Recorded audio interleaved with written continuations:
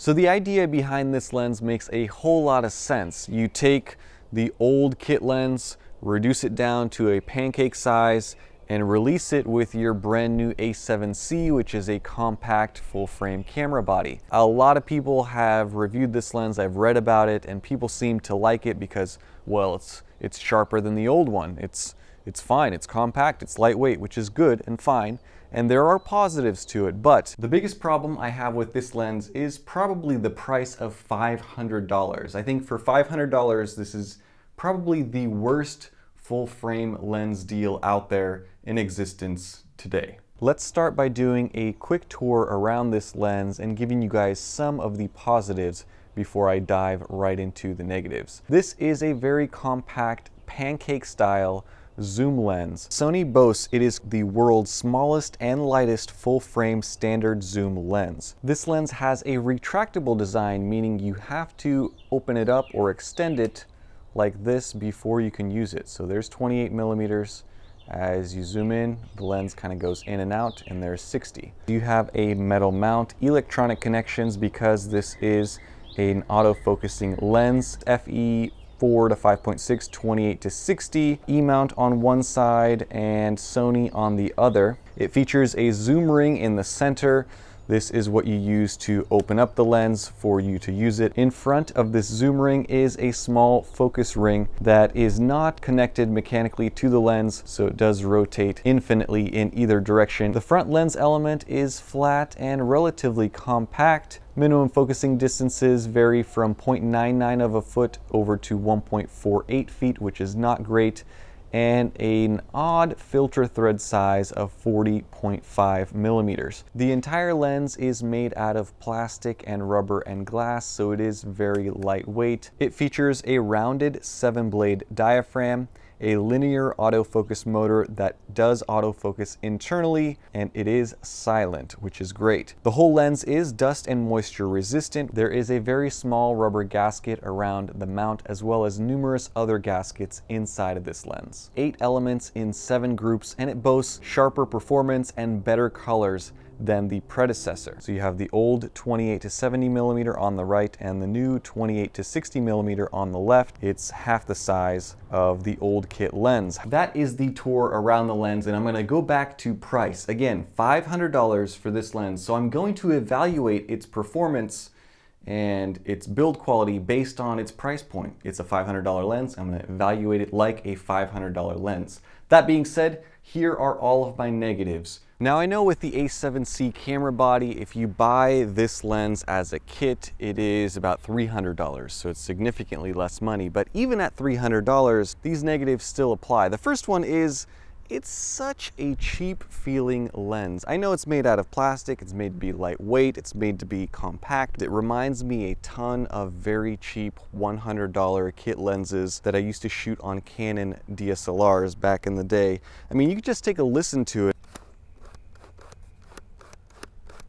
I would say that this feels cheaper than even the APS-C power zoom lens if that's even possible. That's like one of the cheapest feeling lenses out there. The second thing is the limited zoom range. Obviously they've cut the telephoto side from 70 millimeter on the old kit lens down to 60 millimeter.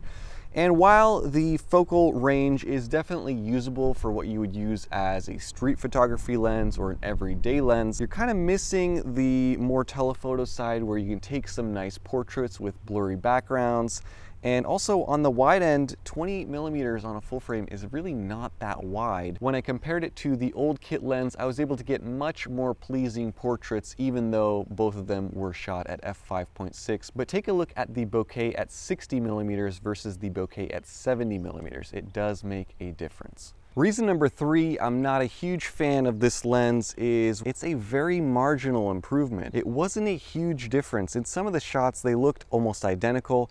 I did tell that there was a bit of an improvement in colors, especially skin tones with this new kit lens. But if you are buying a lens to photograph people, a kit lens is probably not going to be your first choice. There are many other options out there that do a better job with skin tones. And while things like colors and corner sharpness are definitely improved with this lens, it still suffers from barrel distortion, especially on the wide end. It still suffers from pretty noticeable chromatic aberration and flare control is not the best either. The next thing that I'll talk about is, I believe, item number four as to reasons why I don't like this lens, is it is terrible for video work. Absolutely terrible. It doesn't make any sense why Sony would release this compact lens with the a7C, which is a camera really geared more towards video folks because the viewfinder is tiny. And if you guys haven't watched my review, check out my latest video that I posted last week. The reason why this lens doesn't make sense on that camera body is because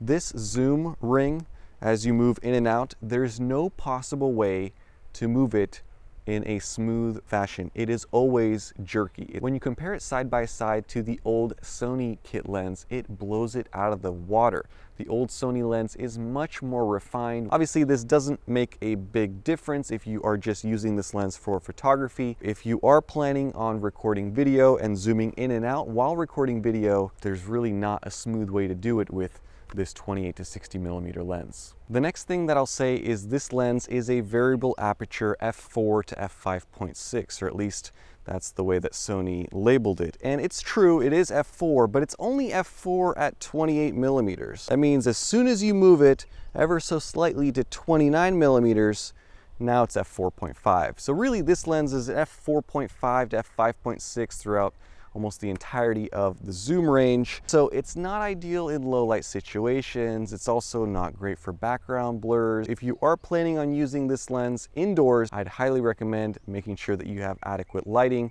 Outside, it's probably fine, like on a super sunny day like today, you'll get away with it. But indoors and especially in low light situations, you'll probably want something that can let in a little bit more light than f4.5 to 5.6. The next thing that I'll mention with this lens is that you don't get any sort of OSS optical stabilization. So if you are planning on vlogging with an old A7 such as this one, it's not going to be the smoothest thing in the world. Ultimately, when you look at the package that you're getting with this lens for $500, I simply cannot recommend it for the money. There are so many other third-party lenses such as the Tamron 28 to 75 f2.8 constant throughout the zoom range that is much, much better than this lens in terms of performance. Yes, it's larger, but the price is very close, at least on the used market. You could pick up one of those for around $600. If you absolutely need a small, cheap, inexpensive kit lens, then you can pick up one of the old Sony kit lenses for around $150. That's what I paid for this one.